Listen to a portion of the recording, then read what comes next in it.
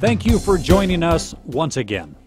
It's time for a PBN news update, live and in your face. Hello, and welcome to the final segment of our special Pesticide Exposure Edition. Always the intrepid reporter, Brick Walls has an intriguing investigative report. Thanks, Beth. I'm Brick Walls at PBN News. It suddenly dawned on me at my recent visit to Valley Hospital that I didn't know the proper steps that pesticide applicators need to take to remove and decontaminate their PPE. So, as a public service, we at PBN News have decided to create a 12 step program. Not that 12 step program. This program illustrates the proper techniques to remove, decontaminate, maintain, and store your PPE. We like to call it the Dirty to Dirty and Clean to Clean program. In other words, you only use dirty gloves to take off dirty PPE and clean gloves only to touch clean clothing. Step 1. Rinse off your entire chemical resistant suit with a hose or shower head to remove as much pesticide residue as possible.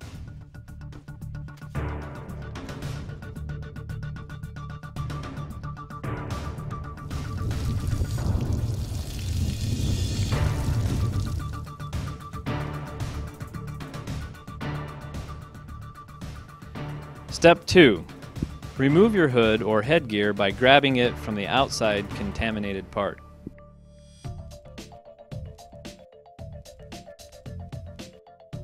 Step 3. Carefully remove your goggles or eye protection with your contaminated gloves. Make sure you do not touch your face with your dirty gloves. Keep in mind that wearing dirty goggles while removing the rest of your PPE can reduce your vision and increase the risk of potential contamination. Step 4. Take off your respirator by grabbing it from the canister or cartridges and gently pulling it forward and up. It's easier to remove the respirator by pulling it forward and up than it is to unhook the straps. Wearing a respirator while removing other PPE can restrict movement and vision. It's much more comfortable to remove other PPE parts without wearing a respirator. Step 5. Take off the jacket by carefully unbuttoning or unzipping it without touching your clothing underneath. Once the jacket is opened, wash your gloves and jacket sleeves with soap and water.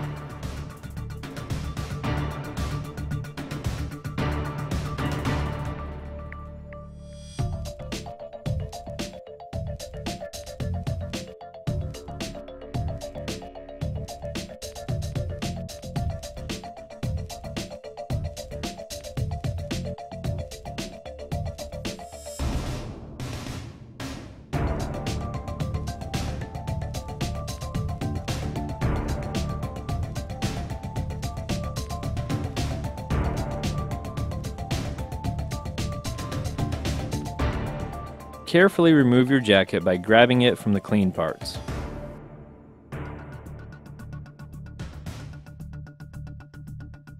Step 6. Remove your protective pants.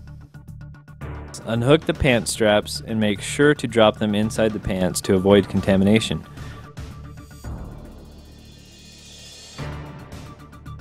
Roll your pants down to slightly above knee high. Balancing carefully or using a chair, remove your leg from the dirty protective pants. Then put your foot back into the boot. As a special note, put your everyday pant leg back into the boot.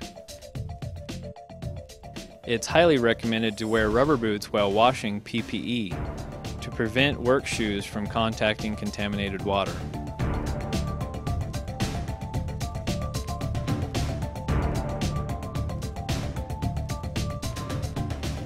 Step 7. With your boots and gloves still on, wash and dry your goggles and put them on. Or put on other clean protective eyewear. With your eyes protected, start washing the rest of your PPE. Uh, uh, I'm sorry to interrupt you, Brick. The PPE removal process sounds pretty involved. Do all pesticide applicators have to be that careful? To make sure they're safe, they do. Let's move on to the next step. Step 8. Wash your respirator. Remove the cartridge from the mask. Discard and replace any pre-filters. And discard cartridges that were used for more than 8 hours. If you can reuse the cartridges, clean them by wiping with a moist towel. Dry cartridges with single-use towels and store them separately in a sealed plastic bag.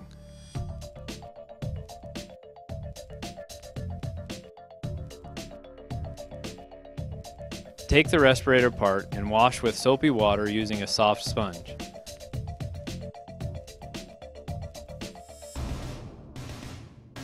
Rinse it under running water.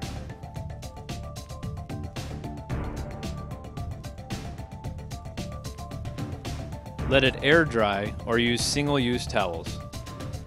After parts are washed and dried, make sure you inspect them before reassembly. Store in a sealable plastic bag, separate from the cartridges. Step 9. Now you finally get to wash your protective suit. Wash your suit both inside and out on a flat surface. Using a brush, scrub with a side-to-side motion with soapy water to avoid splashing contaminated water on your clothes or body. Don't brush towards you. Using the side-to-side technique helps you avoid being splashed with contaminated water. Rinse the suit under running water and hang it to dry in a clean, pesticide-free area.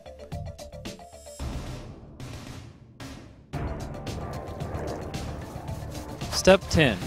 While wearing your boots, wash them.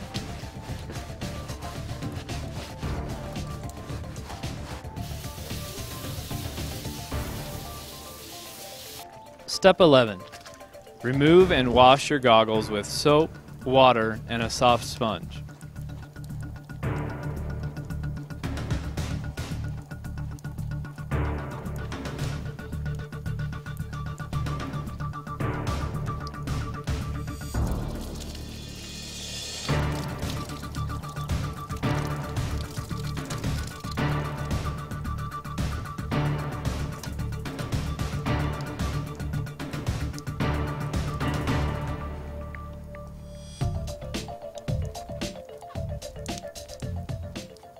Step 12. With them still on, wash the outside of your gloves.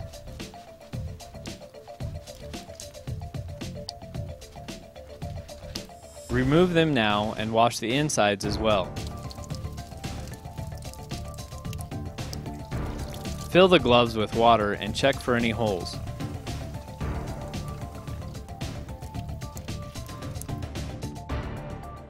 Even if you are wearing disposable gloves, wash them before disposing of them. Inspect all PPE and replace or repair any that need it.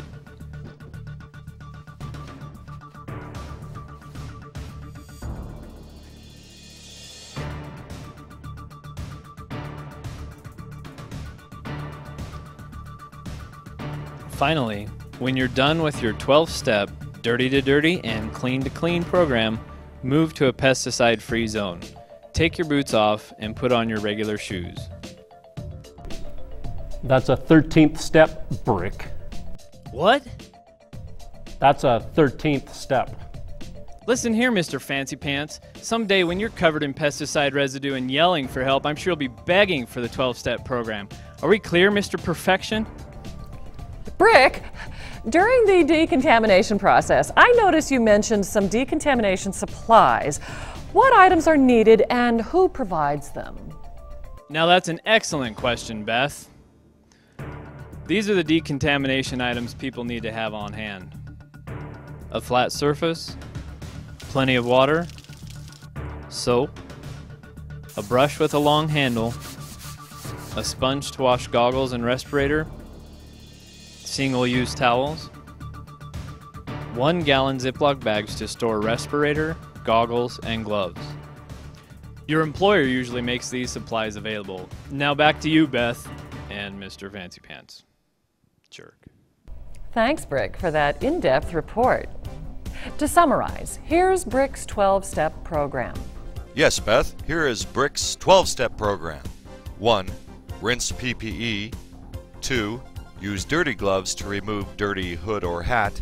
3. Use dirty gloves to remove dirty goggles. 4.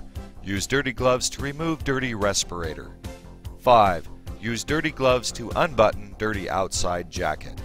Then wash gloves and jacket sleeves to remove jacket, grabbing it from clean parts.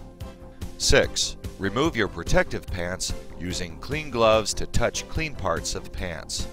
7. Wear clean eyewear. Start washing PPE. 8. Wash respirator. 9. Wash your protective suit. 10. Wash your boots. 11. Remove and wash goggles. 12. Wash your gloves. When you're done, move to a clean area to change into your regular shoes. Now back to our regular programming.